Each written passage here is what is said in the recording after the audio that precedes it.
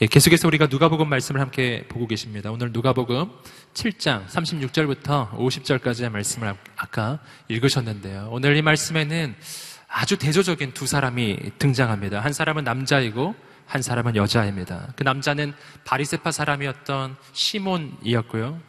여자는 그 마을에서 죄인이라고 불리던 한 여인이었습니다. 이 두 사람 사이에는 어, 너무나 큰 차이가 났습니다. 한 사람은 존경받는 종교 지도자인 바리새인이었고요. 한 사람은 그 마을에서 거의 왕따를 당하고 멸시와 천대를 당하던 죄인으로 죄인으로 불리던 여인이었습니다. 여러분 한 사람은 어, 남자였고 한 사람은 여자였습니다. 잘 아시는 것처럼 그 당시는 여자라는 것만으로도 사람 대접을 잘 못 받던 바로 그런 시대죠. 한 사람은 이 잔치의 주인이었습니다. 바로 이 사람이 예수님을 초대한 것이었어요. 그러나 또 한 사람 이 여인은 그 잔치에 초대받지도 못했지만 또한 절대로 와서도 안 될 사람이었어요.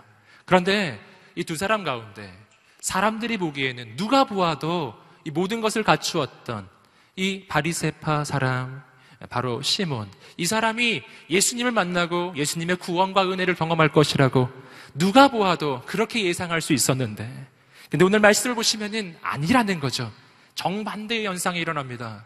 세상에서 보기 좋은 사람이 아니라 볼품이 없었던 사람, 세상에 높은 지위를 가지고 있었던 사람이 아니라 낮은 지위를 가지고 있었던 사람, 세상에 존경받던 사람이 아니라 멸시와 천대를 받던 그 한 여인이 오늘 예수 그리스도를 만나고 그의 인생에 상상할 수 없는 예수 그리스도의 그 은혜를 경험하는 그 은혜의 주인공이 된다는 것입니다. 여러분, 하나님의 나라는 역전의 나라입니다. 세상 사람과 세상 사람의 예상과 같이 되지 않아요. 여러분 그러므로 용기를 얻으시기를 주님 이름으로 축복합니다. 우리가 이 본문을 볼 때 내 인생이 어떤 인생처럼 느껴지시나요? 여러분 내 인생이 여인처럼 느껴지신다면 오늘 소망을 얻으십시오. 오늘 하나님께서 여러분을 만나 주실 것입니다. 우리 인생이 영원히 바뀔 거예요. 오늘 말씀에서 우리는 그래서 두 가지의 신앙의 방법을 발견합니다. 사실은 두 사람 다 신앙인이었어요. 이 바리세파 사람도 신앙인이 아닌 것은 아니었습니다. 두 사람 다 신앙인이었는데 그 신앙의 길이 달라요. 바리세파 가는 세파 사람의 선택과 이 여인의 선택이 다릅니다. 저는 오늘 우리가 바리세파 사람이 가는 길이 아닌 바로 이 여인이 갔던 그 길을 가게 되기를 소망합니다. 그래서 오늘 이 예배 시간에 정말 살아계신 예수님을 만나게 되기를 간절히 소망합니다. 어떻게 그런 일이 일어났을까요? 말씀을 통해서 함께 보시겠습니다. 함께 36절의 말씀을 읽어보시겠습니다. 시작. 한 바리세파 사람이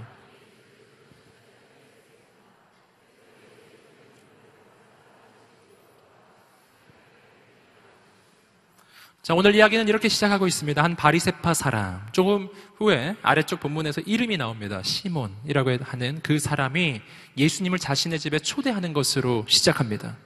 여러분, 그런데 이 초대가 사실은 심상치 않은 것입니다. 왜냐하면 이때 바리세파 사람들은 이미 예수님을 어, 고소할 곳을 찾고 그리고 죽이기로 결정을 하고 그렇게 예수님을 추적하고 있었던 바로 그 시절이기 때문에 예수님의 등장은 당시 종교 지도자들이었던 바리세파 사람들과 그리고 대제사장들과 서기관들과 율법학자들에게 큰 위협이 되었습니다. 그 예수님의 존재는 그들로부터 모든 기득권을 빼앗아 갈 것만 같은 그런 두려움을 가져다 주었습니다. 그래서 바리세파 사람들은 어떻게 해서든지 예수님을 고소할 구실을 찾고 있었어요. 그런데 그런 바리세파 사람이 왜 예수님을 식사에 초대한 것입니까? 여러분 이 초대는 순수한 의도의 초대가 아닙니다. 이 초대는 그 뒤에 음모가 있었어요. 그 식사의 과정 가운데서 어떻게 예수님을 고소할 구실을 찾을 수 있지 않을까 하는 바리세파 사람들의 음모가 그 안에 있었습니다. 그곳에는 바리세파 사람들이 다 모여 있습니다. 그곳에 예수님이 가신 거예요. 여기서 우리가 중요하게 보실 것은 뭐냐면 예수님은 그러한 그 바리세파 사람들의 의도를 아셨겠는가 하는 것입니다. 당연히 아셨죠. 예수님은 하나님의 아들이시잖아요. 그분은 사람의 마음을 보시는 분이십니다. 중요한 것은 예수님이 그런 그 사람들의 온전하지 못한 의도와 그 마음을 아셨음에도 불구하고 그곳에 가셨다는 거예요. 그들의 초대에 응해 주셨습니다. 이분이 우리 주님이십니다. 우리 주님은 좋으신 분이십니다. 그분은 우리가 초대하면 오시는 분이십니다. 여러분, 이 바리세파 사람들 그 초대에 예수님이 왜 응하셨습니까? 왜냐하면 예수님은 이 땅에 버림받은 영혼들을 위해서 오신 분이시며 또한 자신을 죽이기 위해 그렇게 애를 쓰는 바리세파 사람들도 대제사장들도 그들도 구원하시기 위해 오신 분인 예수님이시기 때문이에요.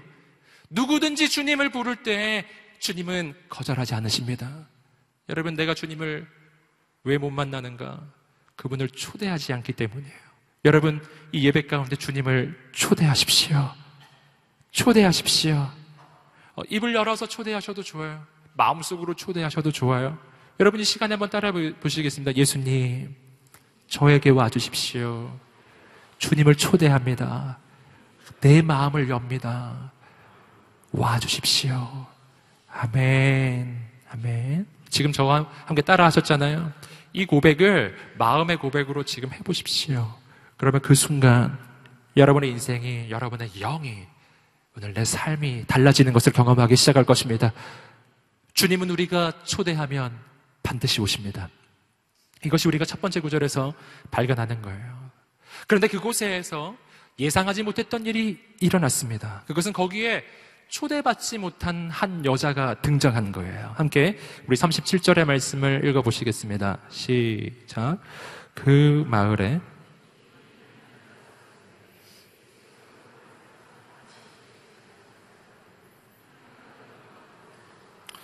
그렇죠. 그 마을에 죄인인 한 여자가 있었습니다. 근데 이 여자가 그곳에 등장한 것이었습니다. 이것은 굉장히 놀라운 사건이었어요. 왜냐하면 거기는 이런 여자가 오면 안 되는 곳이었거든요. 여러분, 이 여, 자에 대해서 성경은 이렇게 소개하고 있습니다. 죄인인 한 여자. 그냥 다짜고짜 다른 설명도 없이 그냥 죄인인 한 여자라고 이야기하고 있습니다.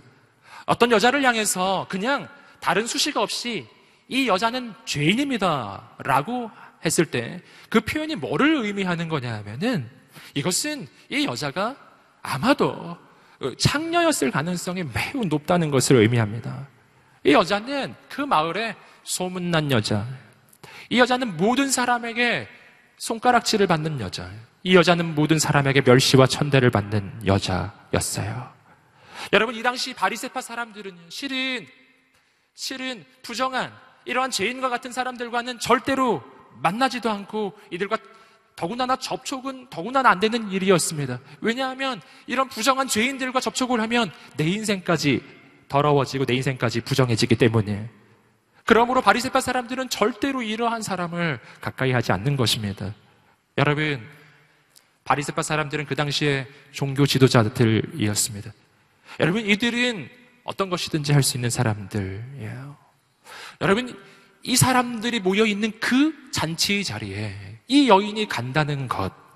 여러분, 이것은 보는 사람도 굉장히 특이한 일이었지만 이 여인에게 있어서는 굉장한 용기를 필요로 하는 일이었어요. 한번 생각해 보십시오. 여기는 내가 초대받지 못한 곳이에요. 그리고 여기 있는 모든 사람들은 다 나를 싫어해요. 싫어할 뿐만 아니라 나를 인간 취급하지 않아요. 내가 가면은 부정하다고 나를 쫓아낼 사람들이 모여 있는 곳입니다.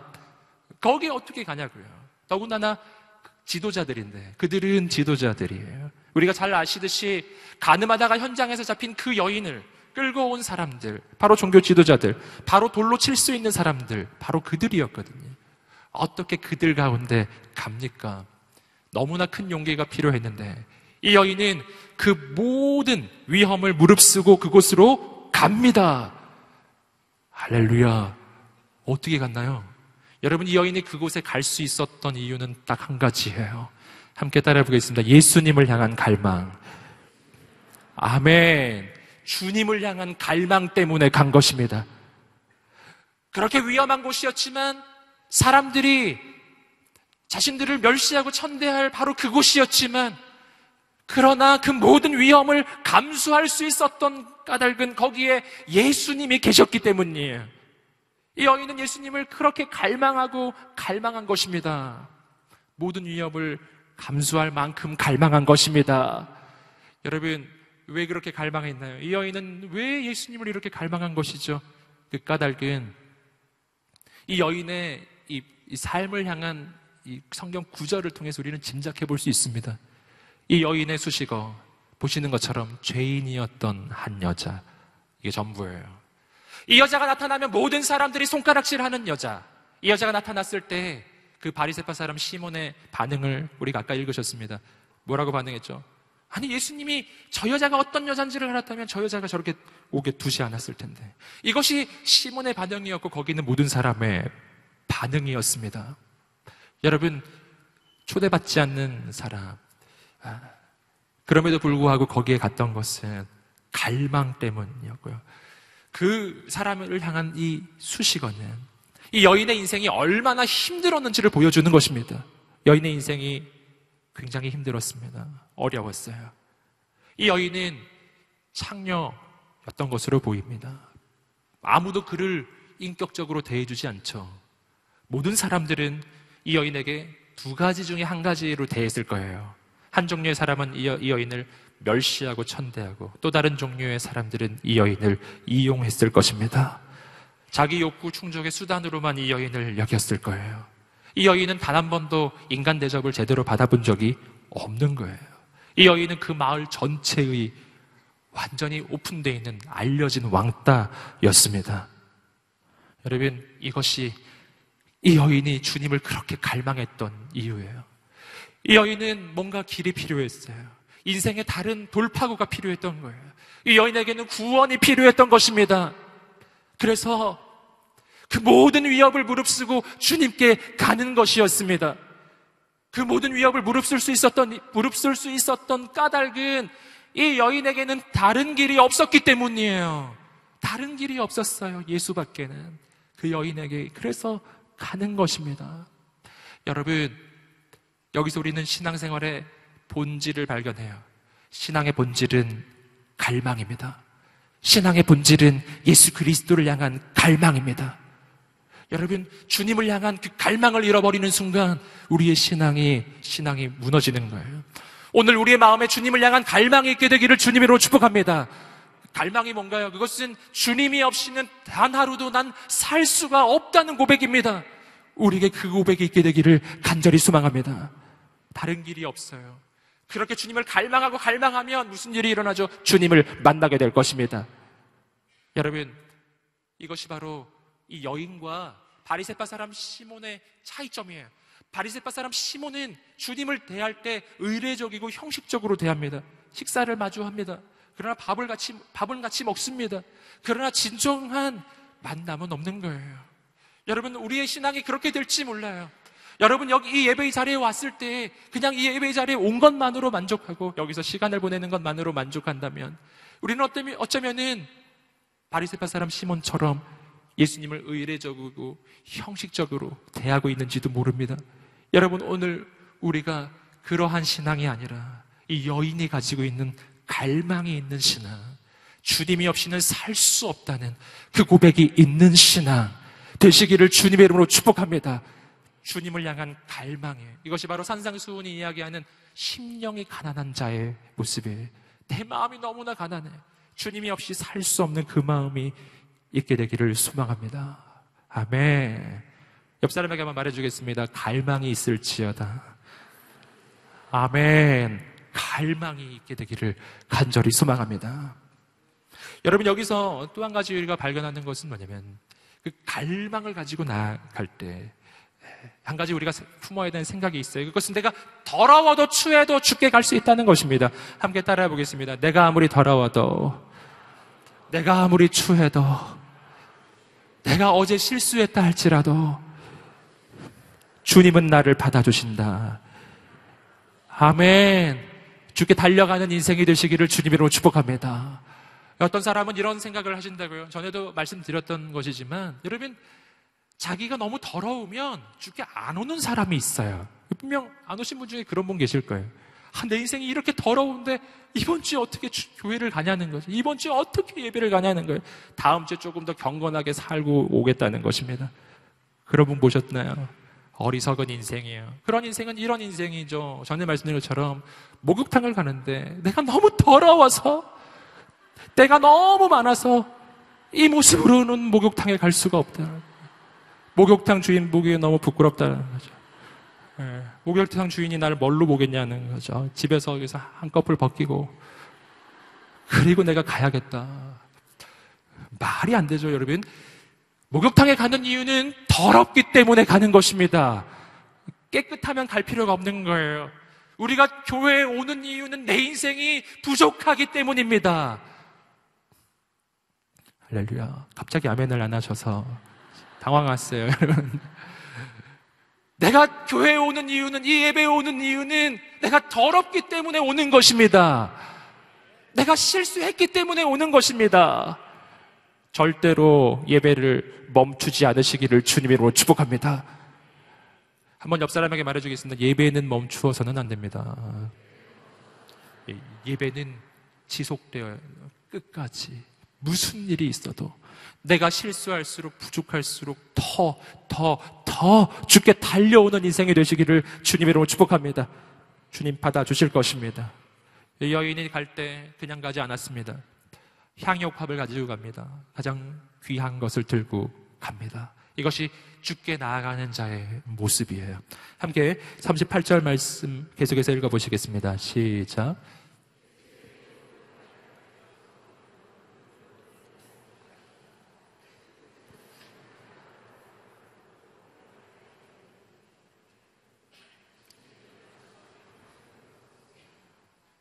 38절의 말씀은 이 전체 본문에서 가장 하이라이트의 말씀이라고 할 수 있어요. 그래서 줄을 그어 놓으셔도 좋고 형광펜으로 완전히 그어 놓으셔도 좋아요. 38절의 말씀이 가장 중요한 말씀입니다. 38절의 말씀에서 우리는 이 여인이 와서 뭐를 했는지를 볼 수 있어요. 이 여인은 그 방에 등장합니다. 여러분, 이 여인이 그 방에 등장했을 때 그 분위기를 한번 생각해 보세요. 얼마나 얼마나 힘든 분위기였겠어요. 모든 사람이 순식간에 모든 말을 멈추고 이 여인을 주목했을 것입니다. 그리고 이런 눈빛으로 봤을 거예요. 저 여자가 여기 왜 왔을까? 저 여자를 빨리 끌어내야 되는데. 이런 눈빛으로 모두 보고 있었을 것입니다. 그런데 놀라운 일이 일어났어요. 그 여자를 끌어낼 수가 없는 상황이 발생했습니다. 이 여자가 울기 시작하는 거예요. 눈물을 흘리기 시작해요. 예수님 바로 뒤편에 서서 눈물을 흘리기 시작하더니 이 여인은 엎드립니다. 엎드려서 예수님의 발 위에서 눈물을 쏟기 시작해요. 여러분, 이 눈물은 그냥 한두 방울 떨어진 눈물이 아니에요. 이 눈물은 얼만큼의 눈물이냐면 오늘 말씀을 보시면은 이 눈물로 예수님의 발을 씻을 만큼의 눈물이었어요. 할렐루야. 여러분, 예수님의 발이 씻어질 만큼의 눈물이 흐르려면 얼마나 시간이 지났을까요? 제가 보기에는 아마 한참을 울었을 걸로 생각됩니다. 예수님 발 위에 엎드려서 눈물을 흘리면서 울었을 것입니다. 눈물이 쏟아집니다. 그 눈물이 예수님의 발 전체를 덮고 발 전체를 적시기 시작했어요. 여러분, 이 눈물은 무슨 눈물일까요? 여러분, 이 눈물은 첫 번째는요, 이 눈물은 자신의 인생에 경험했던 그 고통과 슬픔의 눈물이에요. 지금까지 살았던 그 삶을 향한 눈물. 지금까지 살아오면서 사람 앞에서는 정말 눈물 흘릴 수 없었던 그 눈물이었어요. 여러분, 우리는 사람 앞에서 잘 눈물 흘리지 않습니다. 여러분, 사람들은 내가 눈물을 흘리면 내 약점을 잡거든요. 사람 앞에서 내가 눈물을 흘리면 그걸 위로해주는 사람 많지 않습니다. 여러분, 그래서 세상에서 우리는 잘 울지 않습니다. 여러분, 이 여자도 울지 않았을 거예요. 사람 앞에서 절대 울지 않았을 거예요. 모두 다 자신을 조롱하고 비난하는 사람들 뿐이기 때문이에요. 오늘 그는 난생 처음으로 자신의 인생을 있는 그대로 받아주시는 분, 자신을 있는 그대로 사랑해주시는 분을 만난 걸. 그분 앞에 서자 눈물이 쏟아지기 시작하는 것입니다. 여러분, 신앙의 핵심은 눈물이에요. 여러분, 오늘 우리에게 눈물이 회복되시기를 주님으로 축복합니다. 눈물이 회복되어야 합니다. 우리가 세상에서 울지 않는 것에 너무 익숙해서 주 앞에 눈물 흘리는 것도 익숙하지 않아요. 오늘은 주님 앞에서 무장을 해제하시고 주님 앞에 마음을 열고 마음을 푹 놓으시고 내 마음 속에 지금 꽁꽁 숨어 있던 그 눈물로 주 앞에 기도하며 나가시기를 주님 이름으로 축복합니다. 하나님께서 놀랍게 역사하시기 시작하실 것입니다. 한번 옆 사람에게 말해주겠습니다. 눈물이 회복될지어다. 산상수훈에서 그리고 누가복음의 평지 설교에서 예수님이 반복해서 하신 말씀이 있죠. 애통하는 자는 복이 있나니 지금 우는 자들은 복이 있나니 눈물을 흘리는 자에게 뭐가 있다고요? 복이 있다. 하나님 앞에서 눈물을 흘릴 때 주께서 그 눈물을 닦아 주실 것입니다. 하나님 앞에서 눈물을 흘릴 때 하나님께서 그 눈물을 그냥 흘러보내지 않으실 것입니다. 눈물의 기도에 어, 제 인생 가운데 눈물의 기도를 흘렸던 적이 있습니다. 제가 이 부분을 생각해 보면서 내가 눈물을 흘리며 기도했던 적이 언제였던가 생각해 봤어요. 한, 한 장면이 생각나더라고요. 그한 장면은 제가 대학 입시 때였어요. 제 대학 입시 때. 제가 재수를 했거든요. 그래서 재수를 했는데 여러분 저는 학력고사의 세대입니다. 할렐루야. 네. 수능 세대는 알 수 없는 세대가 있어요. 학력고사 학력고사 세대였어요. 거, 그때는 먼저 학교를 지원해 놓고서 그 다음에 그 학교에 가서 시험을 보는 그런 제도였습니다. 그래서 한 군데만 지원하는 거였어요. 요즘처럼 여러 군데 지원 못해요. 딱 한 군데 지원하는. 그리고 가서 시험 보는 걸로 끝나는 거였어요. 제가 학교 어떤 어느 학교에 지원을 했어요. 했는데 소식을 들어보니까 너무 공부 잘하는 친구들이 거기에 다 지원을 했다는 거예요. 너무너무 걱정이 되는 거예요. 나는 그렇게 공부를 잘하지 못하거든요. 그러니까 너무 염려가 되어서 막 가만히 서 있어도 손에서 막 땀이 나는 거예요. 그래서 하나님 앞에 기도하기 시작했어요. 어, 제 평생에 새벽 기도를 한 번도 안 했는데 바로 그 다음 날부터 새벽 기도를 시작했습니다. 3일 동안 정말 하나님 앞에 눈물로 기도를 했더니 하나님이 마음의 평강을 주시더라고요. 3일째 되는 날 마음의 평강이 밀려오기 시작했어요. 4일째부터 가지 않았어요. 할렐루야. 여러분 격려하고 축복합니다. 여러분 계속 가시기를 주님으로 축복합니다. 눈물의 기도. 제가 또 생각해 봤더니 제가 눈물로 기도했던 것이 또 한 번 있었더라고요. 또 한 번. 어, 그것은 제가 그 이후에 정말 주님을 진정으로 인격적으로 만난 것은 한참 뒤입니다. 대학교 4학년 때쯤이었는데 그때 진정으로 주님을 만나고 정말 회심의 사건이 일어났어요. 그리고 나서 이제 기도하는 게 막 좋아지기 시작했어요. 제가 뭐를 했었냐면은 지금 온누리 교회 서빙고 본당에서 매일매일 가서 두 시간 정도 기도했어요. 어떤 날은 그곳에서 기도하고 자기도 했어요. 요즘에는 본당 오픈을 하는데 그때는 오픈을 했었거든요. 그래서 거기서 그 서빙고 본당 의자 아시죠? 개별 의자로 돼 있는 의자 여섯 개 붙이고 잤어요. 얼마나 불편한지. 볼록볼록해서. 그래도 자고 새벽에 일어나서 또 기도하고 막 그런 세월을 보냈습니다. 그때 역시 주 앞에 눈물로 기도했어요. 그때 주로 기도했던 주제들이 뭐였냐면은 내 과거에 대한 기도였습니다. 내 과거를 생각해 보니까 눈물이 앞을 가리는 거예요. 내 인생이 너무 기구한 거예요. 내 인생은 왜 이런가? 내 삶은 너무나 힘이 들었던 거예요. 나는 왜 이렇게 살았어야만 했던가? 주님은 대체 어디 있었던가? 주께 늘 물었던 게 그것이었습니다. 주님, 저는 너무 힘들었는데, 주님은 어디에 계셨나요? 그런 기도를 했어요. 그때 주님께서 응답해 주셨습니다. 어느 날 제 마음속에 주께서 이 음성을 들려주셨어요. 내가 너와 함께 그곳에 있었다. 할렐루야. 그것이 제게 응답이었어요. 내가 가장 인생이 힘들 때 주께서 바로 거기 계셨다라는 것이었어요. 참 놀라운 일이 일어나기 시작했습니다. 그 전에는 제가 과거를 생각해 보면요. 예. 어, 제가 많이 얘기 안 해드렸지만 제가 초등학교 시절에 제일 힘들었거든요. 두 번째, 두 번째는 대학교 시절 뭐 그런 거 있는데 근데 기도할 때 주님의 그 음성, 내가 너와 함께 있었다. 그 음성이 들리고 나서 달라졌어요. 예전에는 내 초등학교 시절을 생각하고 내 인생에 힘들었던 때를 기억하면 눈물이 앞을 가렸어요. 마음이 너무 아픈 거예요. 그 어린 것이 얼마나 힘들었을까. 나 혼자 하는 생각이에요. 그런데 내가 너와 함께 있었다 라고 하는 그 음성이 내게 들려온 다음부터는 제 어린 시절을 생각해보고 제 힘들었던 대학 시절을 생각해볼 때 괜찮아지는 거예요. 그냥 그런 일이 있기는 했는데 제 마음은 힘들지 않았어요. 괜찮아지기 시작했어요. 그냥 그때 그런 일이 있었구나. 이렇게 바뀌더라고요. 저는 여러분을 격려하고 축복합니다. 오늘 주 앞에 눈물로 기도하며 나아가십시오. 눈물을 쏟아 놓으십시오. 주의 음성을 듣게 될 것입니다. 주님의 메시지를 듣게 될 거예요. 그때 내 인생이 괜찮아지기 시작할 것입니다. 여러분, 이 여인이 눈물을 흘립니다. 그 눈물은 자신의 과거를 향한 눈물이었어요. 너무나 힘들었던 과거. 그 과거를 생각할 때 눈물이 쏟아지는 거죠.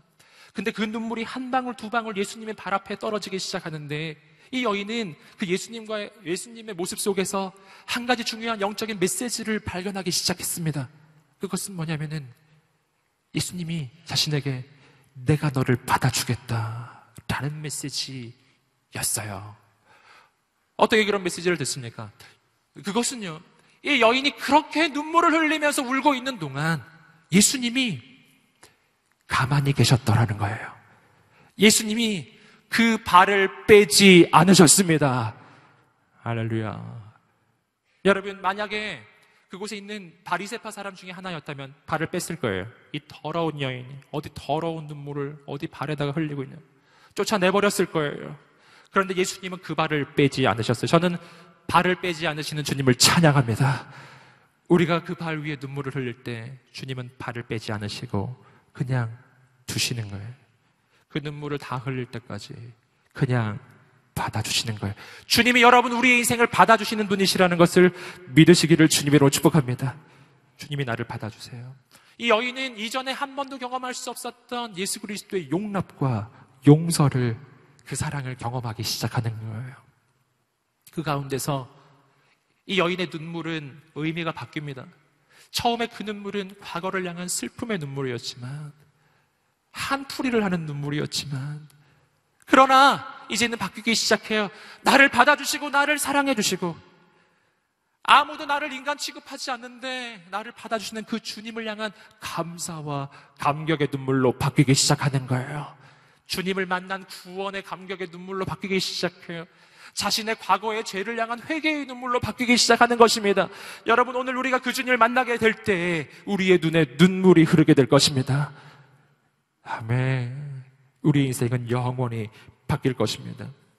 저 앞에 달려가 눈물을 흘리십시오. 근데 여기서 또 한 가지 중요한 것이 있어요. 그것은 이 여인이 했던 한 가지 중요한 일인데 그것은 주님만 보았다는 것입니다. 함께 따라 보겠습니다. 이 여인은 예수님만 보았습니다. 아멘. 예수님 한 분만 보았어요. 이것이 이 여인이 했던 일 중에 가장 중요한 일입니다.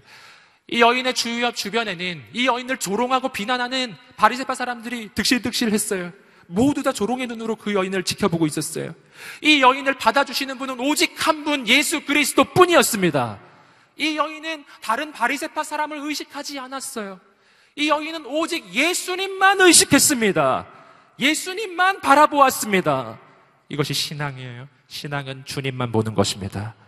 사람 보지 않는 것입니다. 여러분 바로 이 예배 현장에서도 마찬가지예요. 오늘 우리가 예배를 드리며 나아갈 때 예수 그리스도 한 분만 바라보게 되기를 주님의 이름으로 축복합니다. 주님만을 바라보세요. 다른 사람이 나를 어떻게 볼 것인가 염려하지 마세요. 다른 사람들이 나를 정말 광신자로 보지 않을까 걱정하지 마세요. 할렐루야. 내가 오늘 주님을 만날 수만 있다면 다른 사람에게 광신자로 보이는 게 더 나을 수가 있어요. 할렐루야. 아멘. 옆 사람을 의식, 의식하지 마시고요. 우리가 기도하고 예배할 때는 오직 예수님만 의식하는 거예요. 그때부터 내 인생에는 새로운 일이 일어나기 시작할 것입니다. 여러분 마음에 주께서 감동을 주실 때 여러분 소리를 내서 기도하십시오.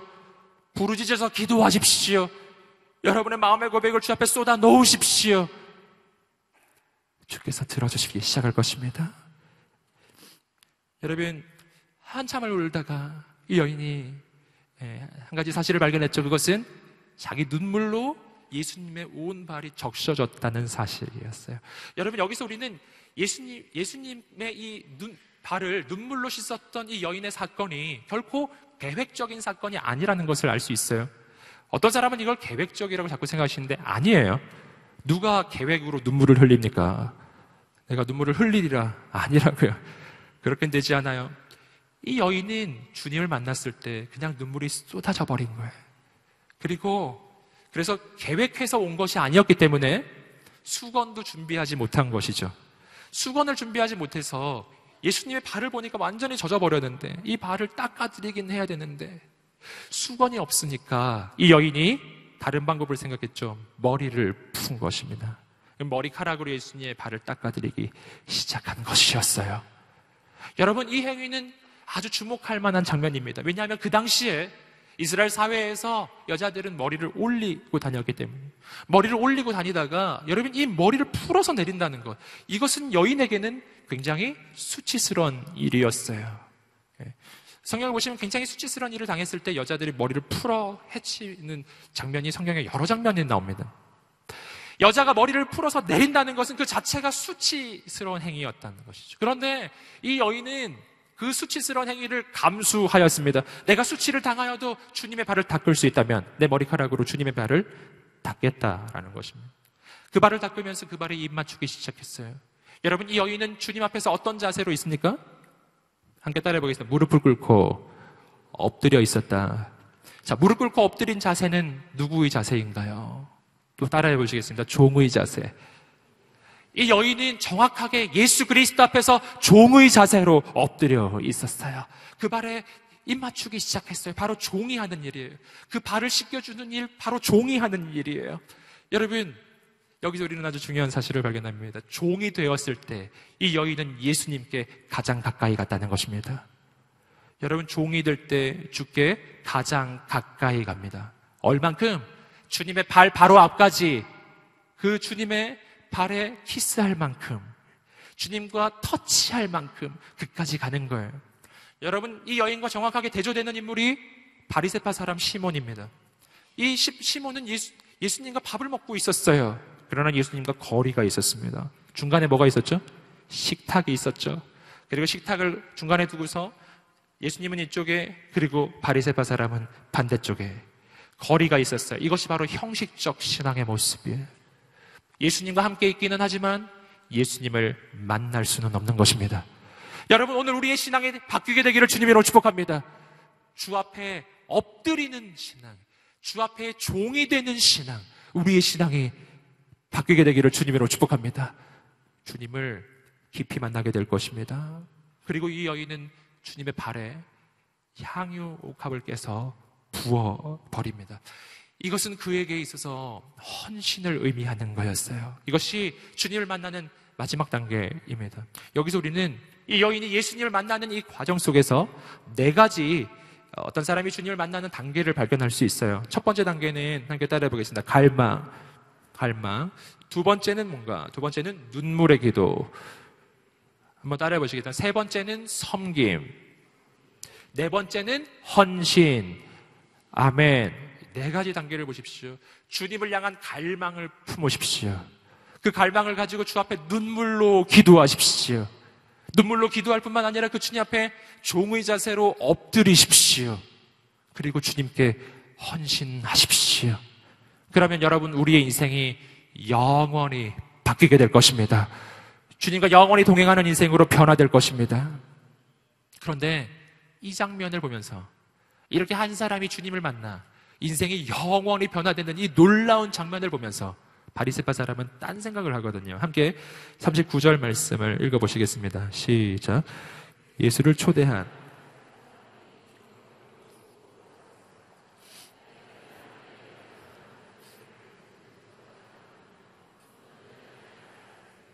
저 여자는 죄인이 아닌가. 바리세파 사람이 속으로 생각합니다. 아니, 이 사람이 정말 예언자라면 지금 자신에게 손대고 있는 저 여자가 얼마나 죄인지를 알 텐데 그 죄인인지를 안다면 저렇게 저 여자가 자기 몸에 손대는 것을 허락하지 않을 텐데 무슨 말이죠? 이 남자는 예언자가 아니구나. 잘 모르는구나. 이렇게 지금 속으로 예수님을 비웃고 있었습니다. 그러나 그의 생각과는 달랐어요. 예수님 모든 것을 알고 계셨습니다. 그러나 그의 생각과는 달리 예수 그리스도는 그 더러운 죄인을 멀리하는 것이 아니라 품어주시는 분이었어요. 그 더러운 죄인을 쫓아내시는 분이 아니라 그 죄인의 인생을 영원히 바꿔주시는 분이셨어요. 이것이 그가 몰랐던 주님의 모습이에요. 여러분, 이 바리새파 사람 시몬의 인생 그에게 주님께서 영적인 메시지를 알려주기 시작하셨어요. 함께 40절부터 43절까지 말씀을 읽어보시겠습니다. 시작. 예수께서 그에게 말씀하셨습니다.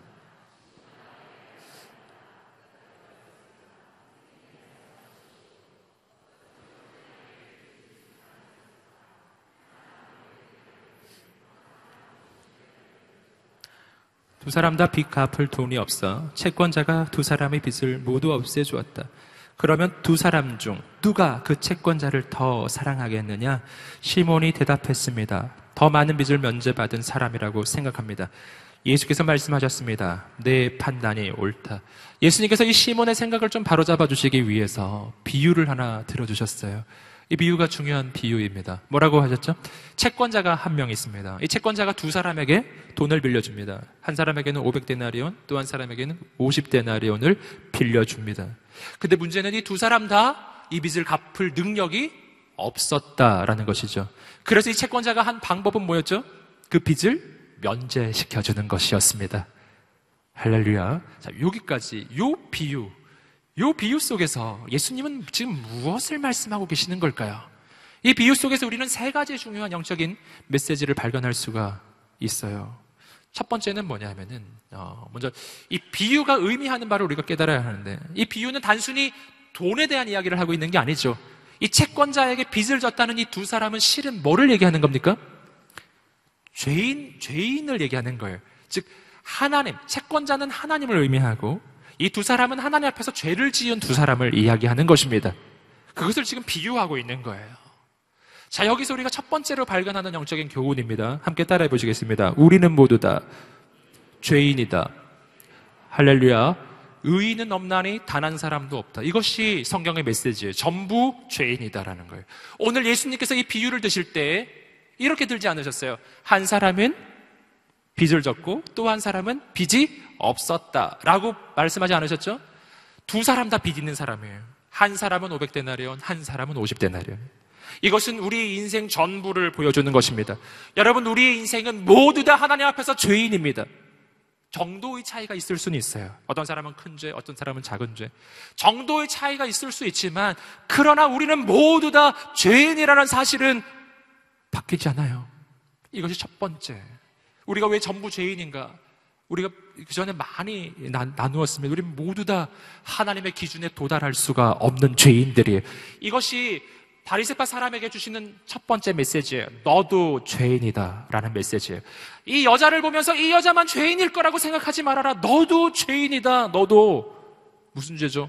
이 여자 이, 이 바리새파 사람은 이 여인처럼 실제로 간음을 하고 그런 죄를 짓지 않았을지 몰라요. 그러나 이 바리세파 사람은 이 여인이 짓고 있지 않은 죄를 짓고 있어요. 무슨 죄죠? 교만의 죄. 자기의를 내세우는 죄. 여러분, 하나님 앞에서 하나님 제일 싫어하는 죄 뭔지 아시죠? 교만입니다. 여러분, 이 여인은 사람 보기에는 정말 큰 죄를 짓는 것처럼 보였지만 어쩌면 하나님 앞에서는 이 바리세파 사람이 더 큰 죄를 짓고 있는지 모르는 것이었어요. 모두 죄인인 거예요. 두 번째 메시지입니다. 오늘 이 비유를 통해서 주시는 두 번째 메시지는 함께 따라해 보겠습니다. 죄를 해결할 방법이 내게는 없다. 이것이 두 번째 메시지예요. 오늘 말씀을 보시면은 500데나리온 빚진 자와 50데나리온 빚진 자 빚진 액수는 다르지만 공통점은 하나 있습니다. 공통점이 뭐죠? 빚을 갚을 능력이 없었다는 거예요. 빚을 갚을 능력이 없는 거예요. 500데나리온 빚진 사람이나 50데나리온 빚진 사람이나 빚 갚을 능력이 없는 건 똑같았습니다. 그런데 50데나리온 빚진 사람이 500데나리온 빚진 사람 보고서 너는 참 빚을 많이 졌으니 넌 참 나쁜 인간이야. 이렇게 얘기할 수 있습니까? 얘기할 수 없어요. 본인의 빚은 적기는 하지만 본인도 못 갚기는 마찬가지였기 때문이에요. 이것이 오늘 우리의 인생의 현실이에요. 우리는 서로 서로를 비난할 수 없어요. 서로 서로를 정죄할 수 없어요. 모두 죄인이고 그 죄를 해결할 방법은 너에게도 없고 나에게도 없고 그에게도 없기 때문에 내가 그를 비난할 수 있으려면 내가 해결할 방법이 있어야 할 텐데 난 없거든요. 여러분 오늘 우리가 깨닫게 되기를 주님으로 축복합니다. 두 가지. 첫 번째 모두 죄인이고 두 번째는 죄를 해결할 방법은 없다. 세 번째입니다. 세 번째. 함께 따라해 보겠습니다. 이 죄를 해결할 방법은 오직 용서받는 길밖에 없다. 오직 용서받는 길밖에 없는 거예요. 여러분, 이 빚을 해결할 방법은 이 채권자가 그 빚을 면제시켜주는 방법 말고는 다른 방법은 없어요. 왜냐하면 능력이 없기 때문에. 이 빚진 사람에게는 능력이 없어요. 여러분, 죄 지은 자에게는 죄를 해결할 능력이 없어요. 오직 단 한 가지의 방법, 용서를 받아야 하는 것입니다. 근데 어떤 분이라고요? 이 채권자는 빚을 면제해 주시는 분이에요. 무슨 말이냐면, 우리 하나님은 우리의 죄를 용서해 주시는 분이십니다. 그 죄가 아무리 커도 용서해 주시는 분이십니다. 그러나 우리가 한 가지 기억할 것은 그 용서가 저절로 된 건 아니라는 것이죠. 그냥은 아니었어요. 하나님께서 우리의 죄를 용서해 주시기 위해서는 치루어야 할 대가가 있었습니다.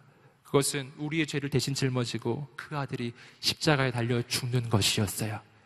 예수님이 우리의 죄를 용서해 주시기 위해서는 치러야 할 대가가 있었어요. 그것은 내가 치러야 할 그 죄의 대가를 예수님이 대신 짊어지시고 예수님이 내 대신 죽으시는 것이었어요.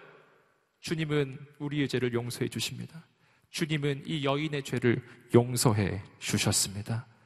왜 그렇죠? 주님은 이 여인을 위해서 죽으시는 분이시기 때문이에요. 여러분 감리하고 축복합니다. 이곳에 오시기 전에 어떤 죄가 있었나요? 내가 예수님 안에 있을 때 그 죄가 용서받습니다. 오늘 우리의 심령 가운데 하나님 주시는 영적인 자유와 위로가 있게 되기를 주님이로 축복합니다. 여러분, 근데 여기서 한 가지 더 주목할 부분이 있어요. 이 비유를 드시고 나서 예수님이 물은 질문입니다. 이 질문이 아주 중요해요. 함께 다시 한번 42절의 말씀을 읽어보시겠습니다. 42절입니다. 시작. 두 사람 다 그러면 두 사람 중 누가 그 채권자를 더 사랑하겠느냐? 주님의 질문은 참 독특한 질문이에요. 자, 채권자가 두 사람의 빚을 면제해 주었다.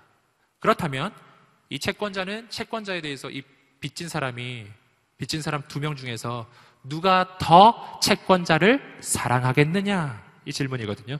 여러분이 앞뒤 문맥을 생각해 보시면서 일반적인 경우를 생각해 보세요. 이런 질문을 하나요? 할렐루야. 누가 빚을 졌어요. 근데 빚을 면제해 줬대요. 물어보나요? 너 당신은 이제 채권자를 사랑하게 되시겠군요. 얼마나 사랑스러우세요? 이렇게 하나요? 그런 질문 하지 않습니다, 여러분. 여러분, 이거는 정상적인 질문이 아니에요. 정상적인 질문은 이렇게 해야죠. 자, 두 사람 중에, 두 사람이 다 빚을 면제받았다. 두 사람 중에 누가 더 좋아할까요? 이건 말이 되는 질문. 두 사람 중에 누가 더 감사한 마음이 있을까요? 이것도 말이 되는 질문이에요. 그러나 두 사람 중에 누가 더 채권자를 사랑할까요? 이건 말이 참 안 되는 거예요. 이런 말은 아무도 하지 않는 말이에요. 그럼 예수님은 왜 이런 질문을 하고 있습니까? 그 까닭은 이 질문을 통해서 주시는 메시지가 있기 때문이에요. 무슨 메시지인가요? 그 메시지는 채권자의 의도입니다. 두 사람의 빚진 사람의 빚을 면제시켜준 채권자의 의도. 채권자는 왜 이 두 사람의 빚을 면제시켜줬을까요? 그 이유를 우리는 예수님의 질문 속에서 발견해요. 이 채권자가 이 두 사람의 빚을 면제시켜 준 이유는 이 두 사람에게서 사랑을 받고 싶어서였던 거예요. 할렐루야. 놀랍죠? 사랑을 받기를 원했던 것이죠. 이 채권자는 빚진 자들에게 사랑받기를 원한 거예요. 그리고 이 말씀 속에서 우리는 중요한 사실을 발견해요. 이 채권자가 이 빚진 자를 용서해 주잖아요. 그 빚을 면제시켜 주면 그러면 이 그 빚을 면제받은 이 사람들이 채권자를 사랑하게 되는 것은 당연히 일어나는 일이라는 것입니다. 예수님은 이것이 당연하게 이야기하고 있죠. 당연히 일어나는 일이라는 거예요. 자, 여러분, 여기서 우리는 중요한 사실을 발견했어요. 하나님과 우리 사이의 관계도 마찬가지예요. 왜 하나님은 우리를, 우리의 죄를 용서해 주시는 것입니까? 왜 하나님은 우리의 그 더러운 죄를 용서해 주시려고 그 아들을 보내셔서 내 죄를 대신 짊어지고 십자가에 달려 죽게 하신 것입니까? 왜 그런 희생을 치르신 거예요? 주님은 왜 날 용서하시나요? 놀라운 사실을 알려드리겠게요. 주님은 나의 사랑을 받기를 원하시는 거예요. 주님은 여러분의 사랑을 받기를 원하시는 거예요. 할렐루야. 얼마나 놀라운 사실인지 아시겠어요? 그분은 온 우주를 만드신 창조주 하나님이시잖아요. 그분은 온 우주 만들을 만물을 창조하신 창조주의 아들이시잖아요. 그가 뭐가 부족해서 내, 내게 사랑을 받기를 원하시냐고요. 내가 그분을 사랑해 드리지 않아도 그분 잘 사실 수 있는 분인데 왜, 왜 그런 거냐는 거죠. 왜 그렇죠? 왜냐하면 하나님이 나를 사랑하시기 때문이에요. 하나님이 여러분을 영원 전부터 영원까지 사랑하시는 분이십니다. 우리 주님께서는 여러분을 영원 전부터 영원까지 사랑하시는 분이십니다. 영원 전부터 여러분을 사랑하셔서 여러분이 당신이 주님을 사랑하게 될 때까지 기다리고 계신 거예요.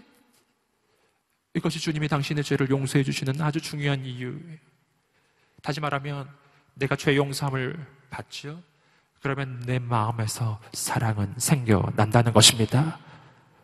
용서와 사랑은 연결되어 있어요. 함께 따라보겠습니다. 용서를 받으면 사랑이 시작된다. 할렐루야. 여러분, 여기서 우리는 우리의 인생에 왜 사랑이 없는지를 깨닫게 돼요. 왜 난 사랑이 없을까요? 용서를 받은 적이 없어서 그래요. 여러분, 사람은 당신을 용서하지 않을지라도 우리 주 예수 그리스도 그분께서는 당신을 용서하시는 분이십니다. 한번 가슴에 손을 얹고 말해보겠습니다. 주님이 나를 용서하셨다. 주님이 나를 위해서 십자가를 지셔서 내 죄값을 치르셨다.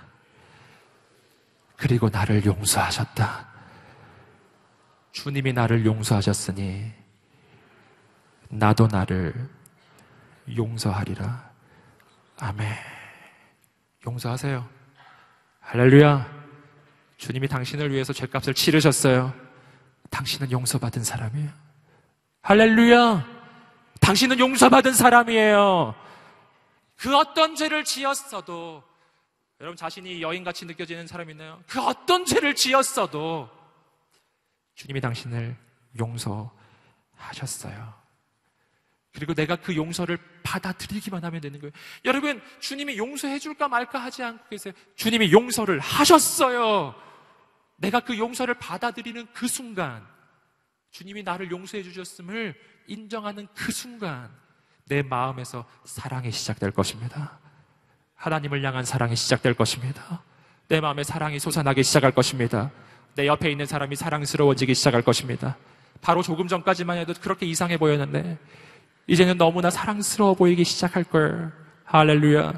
그 까닭은 그가 변했기 때문이 아니라 내가 변했기 때문이에요. 옆 사람에게 말해주겠습니다. 사랑스러우십니다. 할렐루야. 사랑스러우시다. 용서에서 사랑이 흘러옵니다. 그리고 우리는 용서 받은 사람이에요. 함께 47절과 48절의 말씀을 44절부터 48절까지의 말씀을 읽어보시겠습니다. 시작. 그러고 나서 여인께서는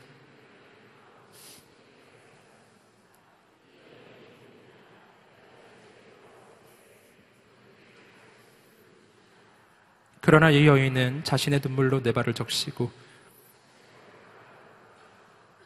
너는 내게 입 맞추지 않았지만 이 여인은 내가 들어왔을 때부터 계속 내 발에 입 맞추고 있다. 너는 내 머리에 기름을 부어주지 않았지만 이 여인은 내 발에 향유를 부어주었다. 그러므로 내가 내게 말한다. 이 여인은 많은 죄를 용서받았다. 그것은 이 여인이 나를 많이 사랑했기 때문이다. 그러나 적게 받은 그러고 나서 예수께서 여인에게 말씀하셨습니다. 내 죄들이 용서받았다. 아멘. 자, 이 말씀 속에서 우리는 아주 중요한, 아주 중요한 영적인 교훈을 또 한 가지 발견합니다. 47절의 말씀을 보시면은 이 앞에 예수님께서 말씀하셨던 그 비유와 조금 상반되는 메시지가 나옵니다. 47절 말씀을 다시 한번 보시면 이렇게 돼 있어요. 자막을 한번 보여주세요. 47절 말씀을 보시면 이렇게 돼 있어요. 들어보시겠습니다. 그러므로 내가 내게 말한다. 이 여인은 많은 죄를 용서받았다. 그것은 이 여인이 나를 많이 사랑했기 때문이다. 이 말씀을 보시면은요, 순서가 나옵니다. 이 여인은 많은 죄를 용서받았다. 그 까닭은 이 여인이 나를 많이 사랑했기 때문이다. 즉, 이 여인이 용서받은 이유는 이 여인이 사랑했기 때문에 용서를 받은 것이다. 라고 나오죠. 그러나 이, 이 메시지는요, 요 앞에서 보셨던 예수님의 그 비유, 그 빚진 자의 비유와 정확하게 반대의 메시지예요. 빚진 자의 비유에서는 뭐라고 되어 있었습니까? 여러분, 빚을 면제받았기 때문에, 즉, 용서를 받았기 때문에 채권자를 사랑하게 되는 거예요. 용서를 받았기 때문에 사랑하는 것이다.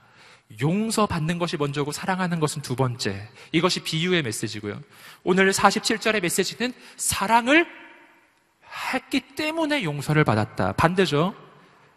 여러분에게 한번 질문해 보겠습니다. 이 반대의 메시지. 어느 쪽이 맞을까요? 여러분, 용서를 받았기 때문에 사랑하는 것이겠습니까? 아니면 사랑을 하기 때문에 용서를 받는 것입니까? 어느 쪽일까요? 한번 말해 보겠습니다. 둘 다. 네, 할렐루야. 금방 놀라운 말씀을 드렸는데 별로 안 놀라시네요. 둘 다. 왜냐하면 둘 다 나오기 때문이에요. 여러분, 용서를 받았기 때문에 우리는 사랑하게 됩니다. 이것이 첫 번째예요. 그러나 그 다음부터 일어나는 현상은 내가 사랑하기 때문에 용서받는 일이 일어납니다. 아멘. 둘 다 맞다는 거예요. 용서받았기 때문에 사랑하고 사랑하기 때문에 용서를 받아요. 왜냐하면 용서를 받았기 때문에 사랑을 하기 시작한다는 여러분 사랑을 한다는 것은 뭐를 이야기하냐면 이것은 그 관계가 바뀌었다는 것을 이야기하는 거예요. 그 전까지는 남남의 관계였는데 이제는 사랑의 관계로 바뀐 것입니다. 함께 따라해 보겠습니다. 사랑하면 모든 것이 용서된다. 할렐루야. 사랑하면 용서되는 거예요. 아시겠죠? 용서를 받았기 때문에 사랑하는 것이기도 하지만 사랑하기 때문에 용서하는 것이기도 해요. 오늘 하나님과 나 사이의 관계는 사랑의 관계로 바뀝니다. 아버지와 아들의 관계로 바뀝니다. 예수 그리스도와 나 사이의 관계는 신랑과 신부의 관계로 변화됩니다. 여러분, 아들과 아버지의 관계는 끝없는 용서의 관계, 괜찮은 거라고요. 여러분, 그 아들을 향해서 아버지가 뭐라 하지 않아요. 탕자가, 탕자가 방, 방탕하다 돌아왔을 때 아버지가 한마디도 물어보지 않듯이 사랑의 관계에서는 모든 것이 용서되는 것입니다. 여러분, 우리는 하나님과 그런 관계가 된 거예요. 할렐루야. 우리 인생이 그렇게 되었다는 것을 꼭 믿으시기를 주님으로 축복합니다. 아멘. 49절과 50절의 말씀입니다. 함께 읽어보시겠습니다. 시작. 식탁에 앉아 있다.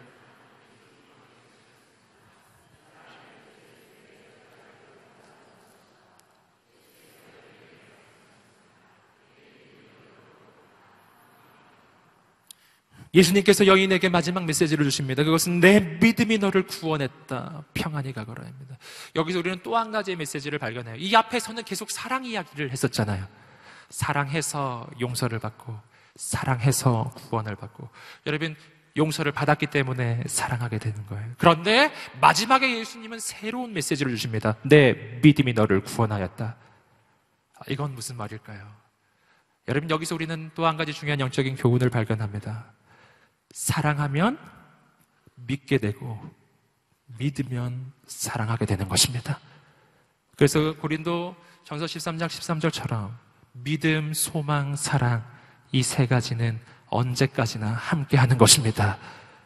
하나님을 사랑하면 하나님을 믿는 믿음이 생겨나요. 그러나 하나님을 믿으면 또한 거기서 사랑이 생겨나요.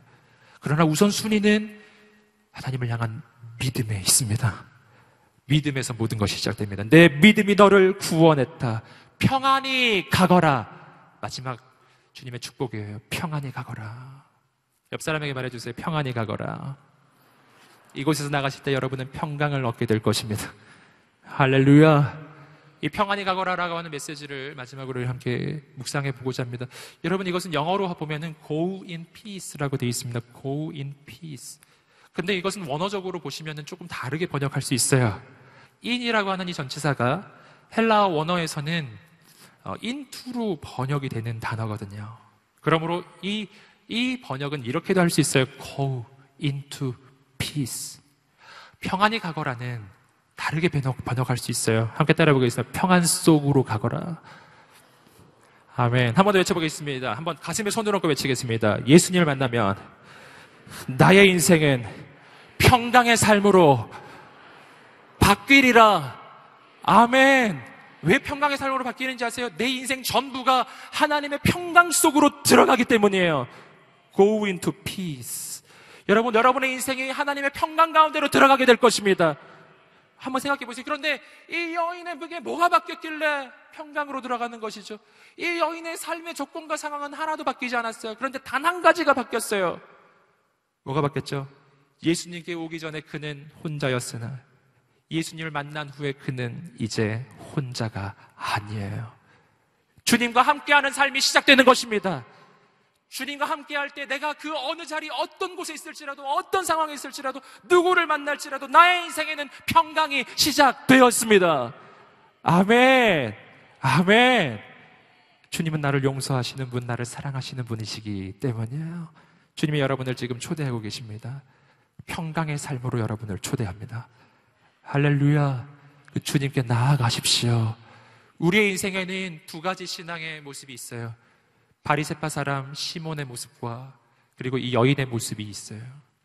언제까지 의례적이고 언제까지 형식적으로 그냥 이곳에 있다는 것만으로 만족하겠습니까? 여러분, 기독교는 형식이 아니에요. 기독교는 종교 생활이 아니에요. 기독교는 나를 위해 십자가에 달려 죽으신 예수님을 만나는 것입니다. 오늘 우리가 그 주님께 나아가기를 소망합니다. 그냥 이 여인처럼 다른 거 다 내려놓고 누가 나 보든지 말든지 상관하지 마시고요. 나는 오늘 주님을 만나지 않고서는 살아갈 수 없사오니 주님 오늘 나를 만나 주시옵소서. 오늘 그 주님 앞에 그냥 마음을 내려놓으십시오. 마음을 오픈하십시오. 그리고 그분 앞에 눈물을 쏟으십시오. 내 마음 속에 있는 고통과 내 마음의 슬픔을 내어 놓으십시오. 주님이 우리의 눈물을 닦아주실 것입니다. 살아계신 주님, 오늘 내가 이 여인처럼 주님을 만나게 하여 주시옵소서. 나의 인생이 평강의 삶으로 바뀌게 하여 주시옵소서. 여러분, 그러한 간절한 소망이 있는 사람들을 초대합니다.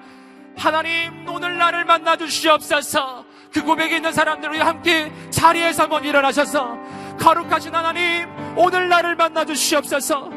의례적이고 형식적인 신앙생활이 아니라 살아계신 하나님을 만나는 신앙생활, 주님 앞에 내 눈물을 내어놓는 신앙생활, 주께서 주시는 위로와 주께서 주시는 평강과 그 은혜를 경험하는 그 생활이 오늘 나의 신앙 가운데 시작되게 하여 주시옵소서. 그 간절한 고백으로 주 앞에 나아갈 때 우리 함께 자리에서 일어나 주 앞에 두 손을 들고 주여 삼창으로 기도하며 나아갑시다. 주여 주여 주여 주님의 사랑이 내 죄를 씻었네. 내 죄를 씻었네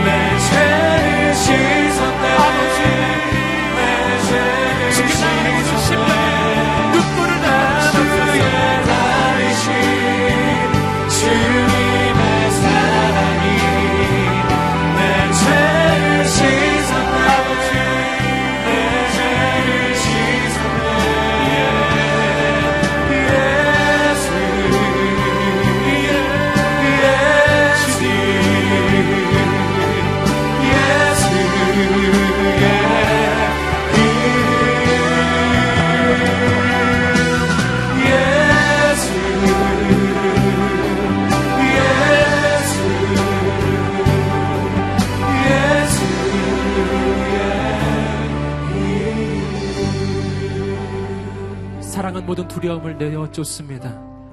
사랑의 관계 속에서는 모든 것이 용서됩니다. 할렐루야. 주님이 나를 사랑하십니다. 태초부터 영원까지 주님은 당신을 사랑하십니다. 당신을 사랑하는 증거가 있습니다. 그것이 십자가. 내가 십자가 앞에서 어떻게 주님이 나를 사랑하지 않는다 말할 수 있나요? 주님이 나를 위해 죽으셨는데요. 그분은 나를 위해 목숨을 내어주셨는데 그 이상의 무엇이 필요하겠습니까? 내 삶의 고통이 어떠하든지 내 삶의 상황이 어떠하든지 십자가보다 큰 것은 없습니다. 십자가보다 큰 것은 없습니다. 주님을 주님이 당신을 사랑하십니다. 온 마음 다해서 사랑하십니다. 온 힘을 다해서 사랑하십니다. 전심으로 당신을 사랑하십니다. 온 뜻 다해 당신을 사랑하십니다. 당신을 위해 모든 것을 거셨어요. 할렐루야. 할렐루야. 이것이 오늘 우리의 인생의 소망입니다. 나는 주님의 사랑받는 사람입니다. 나는 주님의 사랑받는 사람입니다. 함께 외쳐보겠습니다. 나는 예수님의 사랑받는 사람입니다. 여러분 그 사랑은 변하지 않을 것입니다. 이 시간 예수 그리스도를 명하나니 모든 두려움이 떠나갈 치여다. 낭망함이 떠나갈 치여다. 무엇이 나를 사로잡고 무엇이 나를 막을 수가 있습니까? 나를 사랑하시는 예수 그리스도가 우리 눈앞에 이렇게 밝게 있는데 내가 그분 안에 있을 수 있다면 내 인생 가운데 무엇을 두려워하겠습니까? 오늘 우리 가운데 주님 주시는 은혜와 평강이 있게 되기를 주님의 이름으로 축복합니다. 아버지, 주님의 그 사랑 안에 늘 거하게 하여 주시옵소서. 주님을 더 사랑하게 하여 주시옵소서. 주님의 그 사랑을 전하는 인생이 되게 하여 주시옵소서. 하나님 오직 그 사랑으로만 사는 인생, 내 조건으로 살지 않고 상황으로 살지 않고 여러분 마음속에 있는 그 모든 것들을 쏟아놓으며 주님을 향한 그 사랑으로만 살겠다고 주님만을 사랑하겠다고 한번 저 앞에 주여 삼창으로 고백하며 나가겠습니다. 주여 주여 주여 그 사랑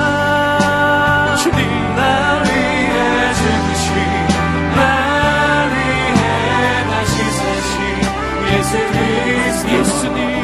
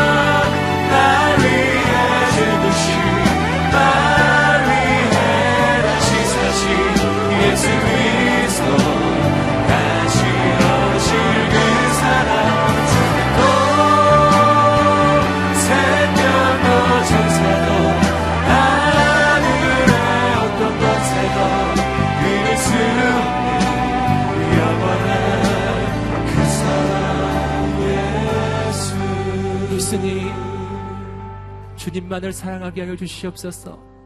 내가 사랑해야 할 것과 사랑하지 않아야 할 것을 구분할 수 있는 눈을 열어 주십시오.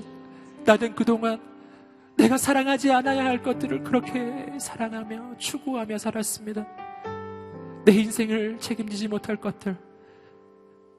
그러나 오늘 나는 나를 영원히 사랑하시는 예수님을 부었습니다. 주님만을 선택하며 사랑하게 하여 주시옵소서. 그 사랑으로만 살게 하여 주시옵소서.